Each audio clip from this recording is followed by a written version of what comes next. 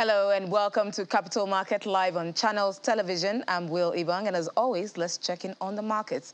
We begin with Europe where stocks closed low on Friday as investors reacted to the European Central Bank's latest policy decisions and a hotter than expected U.S. inflation report. Major markets recorded double-digit losses. France's CAC 40 fell 2.69%. The German DAX dropped 3.08% while the UK's FTSE 100 declined by 2.12%. The ECB on Thursday confirmed its intention to hike interest rates by 25 basis points at its July meeting, with a further hike expected in September, the scale of which will be determined by the medium-term inflation outlook. Now, shares in Asia Pacific were mixed on Friday as Chinese inflation data for May came in largely in line with expectations. Hong Kong's Hang Seng Index slipped 0.29% to close at 21,806.18 points. Hong Kong listed shares of Alibaba turned around, closing 1.35% higher after falling nearly 4% earlier. In mainland China, the Shanghai Composite gained 1.42% to close, while the Shenzhen component jumped 1.9%. Japan's Nikkei 225 shed 1.49%, as shares of SoftBank Group dropped 2.01%. Now in the U.S., stocks dropped on Friday after a highly anticipated inflation report showed a faster than expected rise in prices and consumer sentiment hit a record low.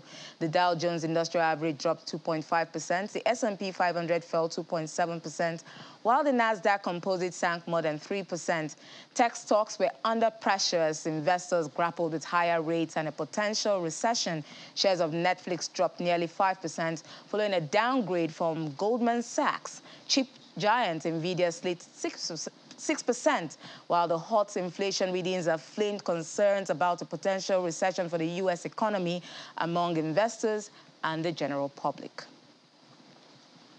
Now back home at the equities market, positive sentiments returned this week as investors took advantage of the moderation in share prices last week to make re-entry into sound companies with attractive dividend yields. The all-share index inched higher by 0.55% week on week to close at 53,201.38 points.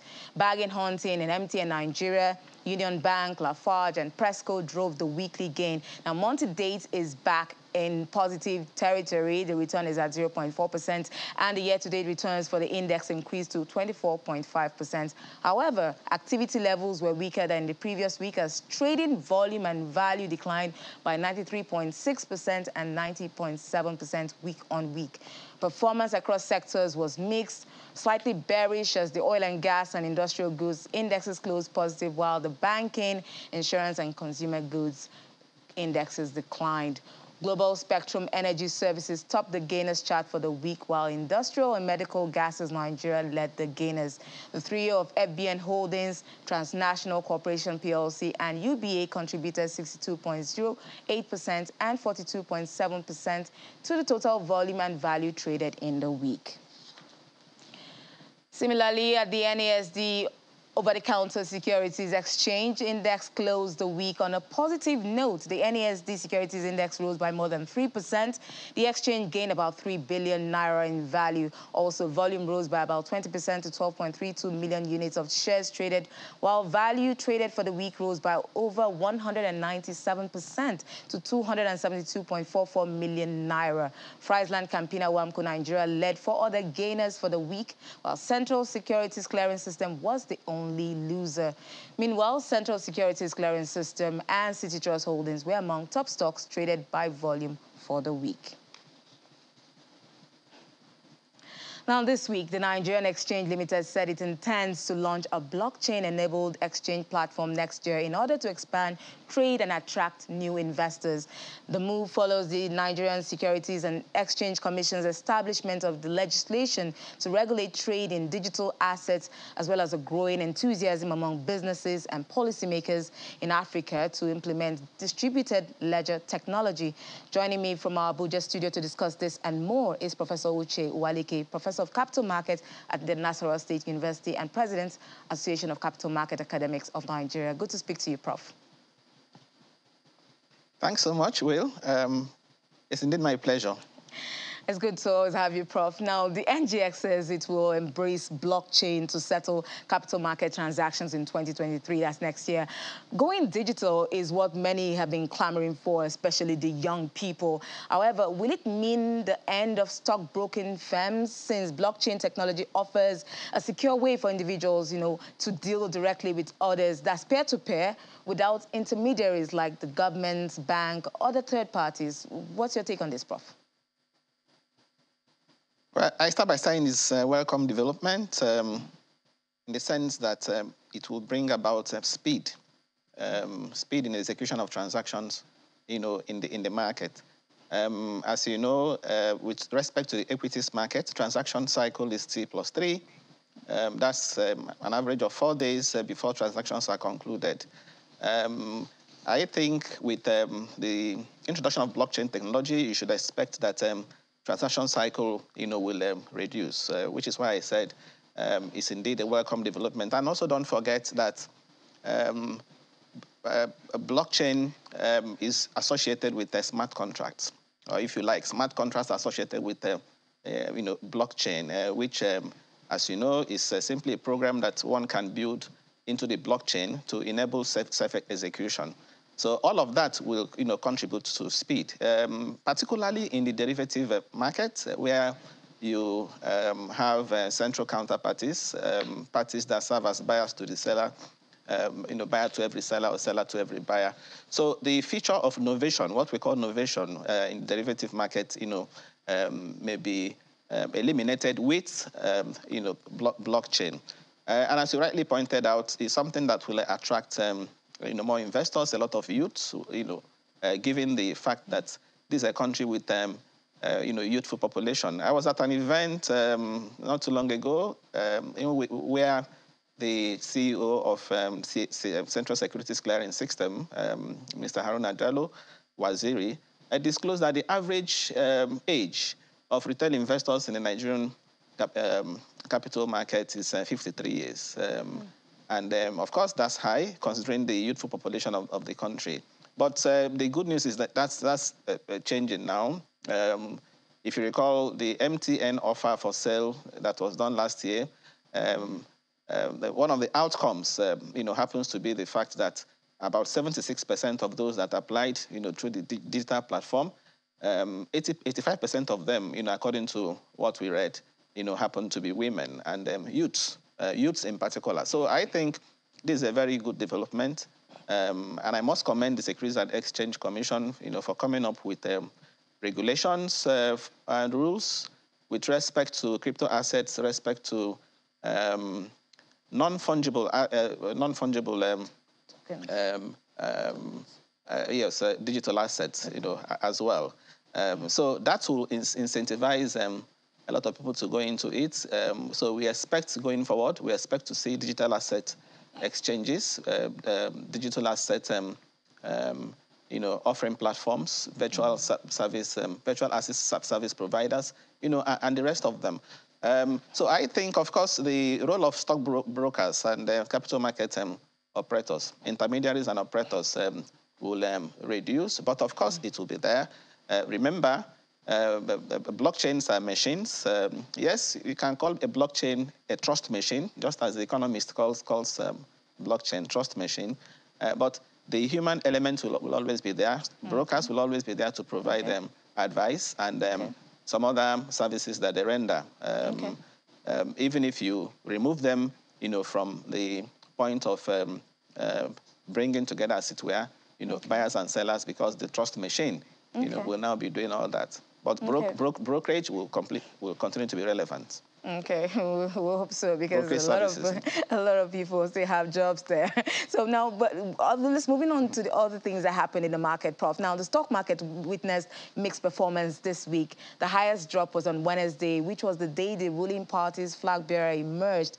Would you describe that as the market reaction to the outcome of the APC primaries? okay, no, no, I, I, wouldn't. I wouldn't say so.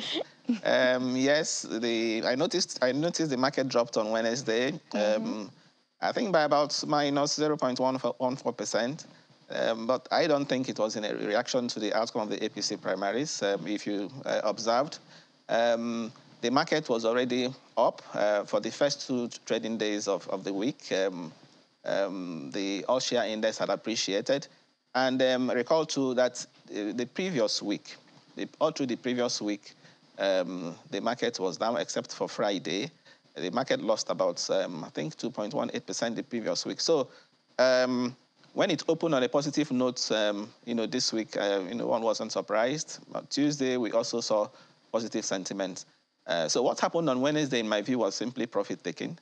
Um, and um, of course, you also notice that all of that reversed by Friday. The market closed on a positive note uh, on Friday, such that week on week, as you rightly reported, mm. the market appreciated by, I think, 0.55%. So yes. I don't think it was in, in reaction to um, you know, the primaries. Uh, we don't, our markets are, are, still are not that efficient in, you know, in terms of, um, um, you know, impounding, as it were, uh, information, uh, you know, political, that kind of information, um, you know, automatically on share prices. I, I don't think it was a reaction.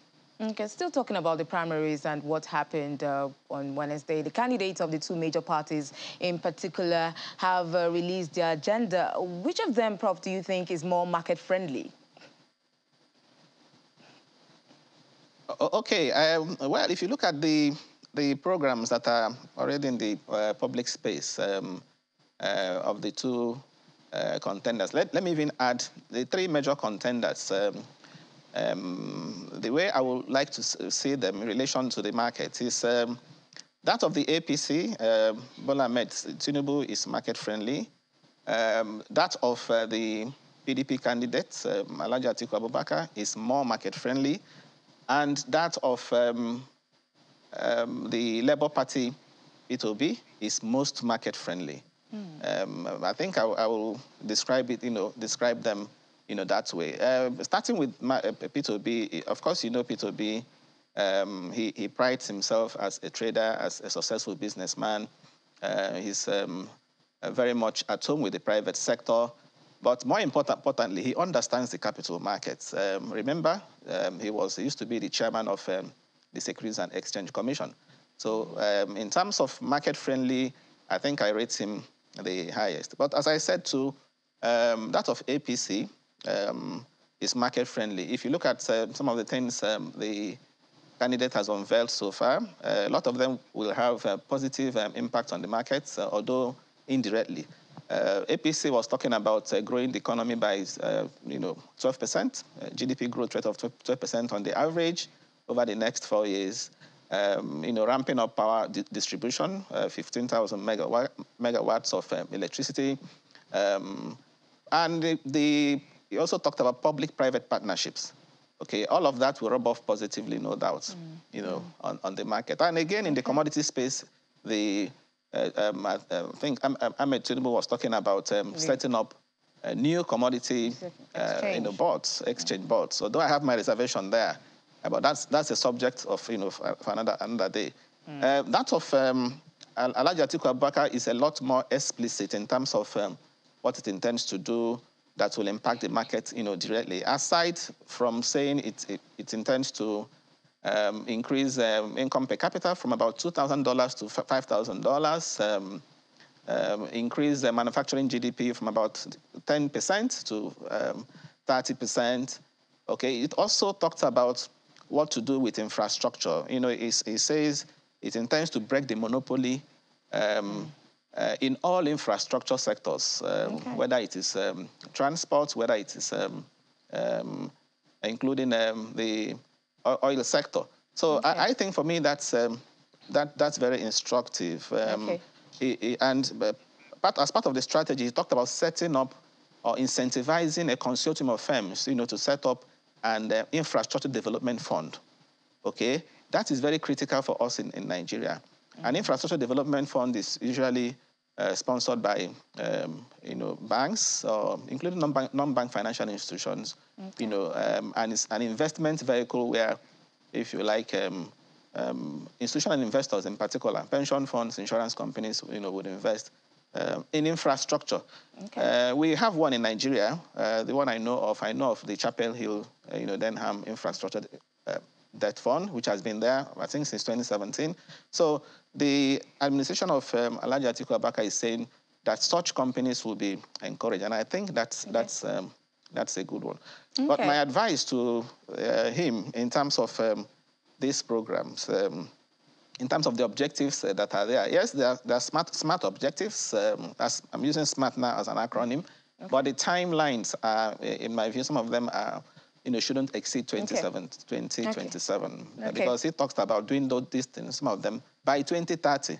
And by 2030, of course, um, is um, the time would have um, um, ended. So okay. I expect that any objective should be within the period um, that um, he, is staying in office. And of course, for Asiwaju Bola Tinubu, whatever he said, he said within the next um, uh, four years. And to okay, me, that, that made, a, you know, Prof, uh, made we'll a lot take, of sense, yes. Prof, uh, we'll keep watching that, and we expect that these, like you said, the agendas will happen when they are in office. But we'll take a quick break now, and when we return, the conversation continues. To stay with us. This is Capital Markets.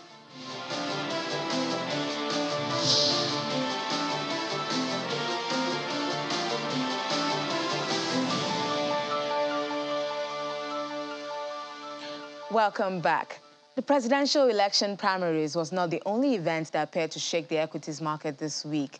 FBN Holdings uh, shares fell 13.4% to a six-month low on Thursday after its single largest individual shareholder, Femi Otedola, sold down about 834 million of the company's shares in a deal valued at about 9.2 billion naira. Professor Uwaleke is still here with me to talk about this. So, Prof, what do you make of this move? Yeah, yeah, Will, sincerely, um, you know, one, one cannot tell the motive for the um, sell down. But of course, if somebody is selling, uh, he needs the money for, for something. Mm -hmm. 9 billion uh, naira is, um, uh, you know, isn't small money. Uh, but, but my, my um, if you like, why, why, why I'm not concerned about that is uh, the fact that uh, you know, due process was followed. Um, the exchange um, uh, was uh, duly notified about that insider um, deal. Um, and um, it didn't really depress the share price of um, First Bank, you know, significantly. Uh, the share price of First Bank opened, I, I think, at 11.25 uh, naira on Monday. And um, yes, it fell on Wednesday to uh, 10 naira 30. But we also saw uh, some correction, if you like, uh, by Friday when it had um, appreciated again uh, to 10 naira um, 55, 55 kobo. So uh, as I said, we, it, we didn't see the, the impact um, uh, on share price of um, First Bank um, in significant terms. we, are, we are talking about, about I think, 2 points two two percent um, uh, shares. Uh, you know, if you're looking at the overall outstanding shares of First Bank, First Bank has 35 points, um, um, sorry, close to 40 billion uh, um, uh, shares um, outstanding. So 35.9, that's about 36 billion shares outstanding, and then you have um, um, 800 million shares, you know, being sold. So the point is, due process was followed, and um, it didn't quite depress the share price of First Bank. Uh, again, that speaks to the resilience of our markets. Um, you know, resilience is one of the um, factors that we use to measure market liquidity. Um, resilience is the ability of uh, the market to self-correct, and um, to a large extent, our market is resilient. The other factors mm. are tightness. Uh, you have um, immediacy. You have depth. You have breadth. Again, that's, uh, that's not what we're discussing today. Mm. But um, our market is resilient, mm. and uh, except maybe going further, um, you know, the set pressure persists. I, I don't mm -hmm. think that um, we're going to, you know, it's going to have um, any major impact, uh, even on the share price of First, uh, First Bank. Um, if you look at First Bank's 52-week high, uh, First Bank 52-week high at 12 naira 90 and 52-week uh, low at about, I think, 7 naira 5 kobo. Um, a current share price of uh, 10.55 is um, uh, is still, um, you know, uh, a, a, good uh, valuation in my view. Okay. Now, the capital market, Prof, is often said to be the barometer for any economy against the backdrop of rising inflation, interest rates, exchange rates. Public debt is rising and uh, tepid GDP growth that we just witnessed.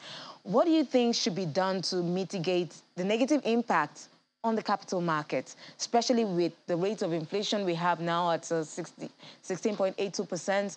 We have uh, rising debt, which grew to about 41 trillion naira. And GDP growth was not very encouraging, Prof. So how do we mitigate these factors?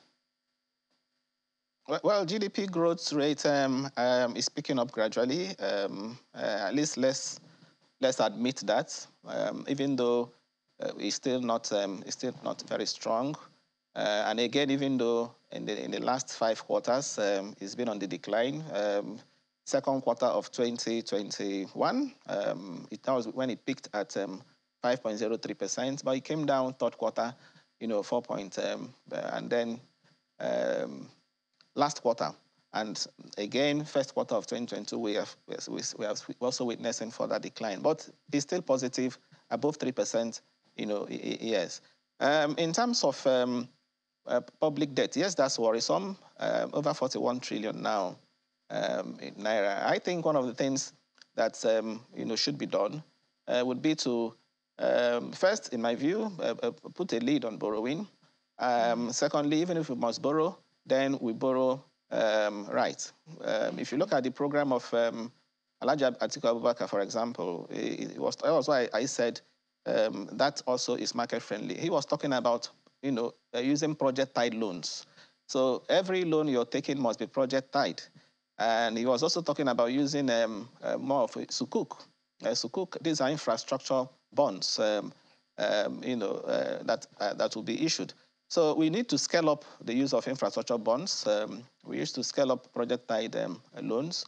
Um, you know, that way you uh, ensure that um, the debt service to revenue ratio, which is real, the real burden on, uh, you know, that we have in this country is reduced. Of course, 23, uh, 23%, uh, about 23% to GDP uh, in terms of debt to GDP ratio. You might say that we, you know, we, we don't have um, a debt issue, but the real burden is on debt service to revenue. And that debt service to revenue will be uh, addressed if we change our approach to borrowing. So rather than continue to issue uh, FGN bonds, uh, general obligation bonds that are not tied to specific projects, I think we should learn to tie um, um, anything we are issuing to particular specific projects. And mm. again, um, the, what I mentioned earlier, infrastructure debt fund that um, the um, Atiku Abubakar talked about. These are, um, if you like, uh, funding uh, initiatives or um, innovative funding schemes that um, the government should uh, also look at. Mm. Um, uh, on the issue of exchange rates, um, you recall the recent exchange rate pressure we had, forex pressure um, is as a result of political activities, uh, politicians mm. mopping up um, uh, funds. And um, I think it's time uh, the central bank, um, you know, should um, revisit this idea of uh, redenominating the naira. I think if the naira is redenominated, um, this idea of currency currency substitution that we, we, we, know, we, are, we are being faced with will reduce. Because when you redenominate, as we try to do during the time of Soludo, I think the time is now, you know, ripe for that. What happens is that it makes the naira portable. So instead of people demanding dollars and um, because of its portability, they now actually use the naira for whatever they want to uh, transact. So that will reduce the pressure on on the on, on forex, and then the, the also reduce this idea of dollarization of mm. um, the Nigerian economy. Okay, so mm. I think it's time we we we took we took a second look at um, you know, currency redenomination. Okay, Prof. Um, if you like, some implement some sort of uh, currency reforms. Well, Prof, I think we'll have to leave it there. Like, as you earlier mentioned, there's nothing wrong with being in debt, but putting it to good use is what is most important. Absolutely. Okay, Professor Uche Uwaleke, Professor of Capital Market, Nasarawa State University. Many thanks for coming on the program. Thank you very much. My pleasure, Wills. And that's it on Capital Markets. Do join us same time next week. I'm Willie Bung. Thanks for watching.